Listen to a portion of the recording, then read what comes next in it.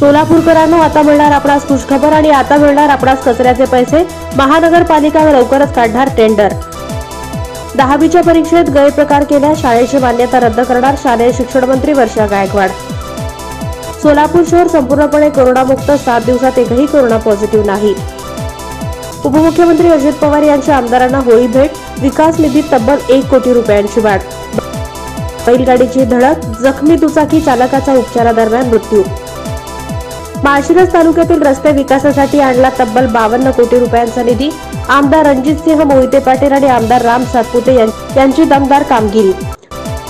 माढा लोकसभा युवा सेना विस्तारकपदी उत्तम आयवळे यांची निवड. बंद करण्यास गेलेल्या क्रेडिट कार्डवरून दोन लाख रुपयांची फसवणूक. बायकोबरोबर भांडण झाल्यानं पतीनं घराला लावली आग बार्शी तालुक्यातली घटना. श्री भगवंत मल्टीस्टेट सोसायटीचा बॅको पुरस्कारांना गौरव. मोहोळ तालुक्यातील अंकोली येथून अपहरण झालेल्या मुलाला मध्य प्रदेशातून आरोपीसह घेतलं ताब्यात.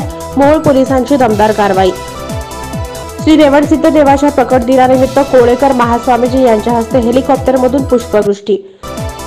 भीमजयंती मिरवणूक परवानगीसाठी वंचित बहुजन आघाडीच्या वतीनं जिल्हाधिकाऱ्यांना निवेदन. कुर्डुवाडी नगरपालिकेतील सत्ताधाऱ्यांच्या विरोधात सर्व गावकऱ्यांनी पुकारला बंद. कुर्डुवाडी येथे अवैध वाळू उपसा करणाऱ्यांवर मोठी कारवाई. कोंडीची जागा ताब्यात घेऊन आयटी पार्क उभारणार मनोहर सपाटे यांची माहिती. आणि पनवेल येथील शिक्षक परिषदेसाठी सोलापुरातून पाच हजार शिक्षक जाणार